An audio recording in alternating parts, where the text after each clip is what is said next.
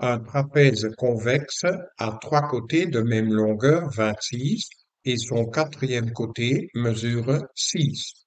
Question. Que mesure sa hauteur?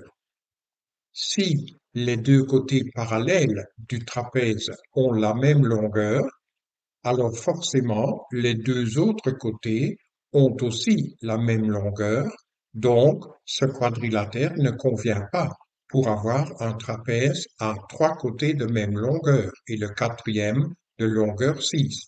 Le trapèze en question, c'est donc le trapèze dont la grande base mesure autant que les deux côtés latéraux et la petite base mesure 6.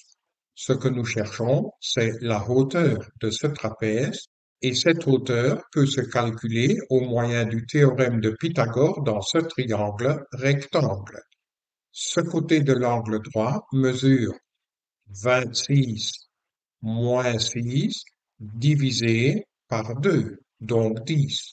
Le théorème de Pythagore donne que h au carré plus 10 au carré est égal à 26 au carré, donc le h, c'est la racine carrée de 26 au carré moins 10 au carré, donc la racine carrée de 676 moins 100, c'est-à-dire la racine carrée de 576. Et 576, c'est le carré de 24. Par conséquent, le E est la bonne réponse. Lors du tutoriel suivant, nous allons répondre à une autre question de l'Olympiade mathématique.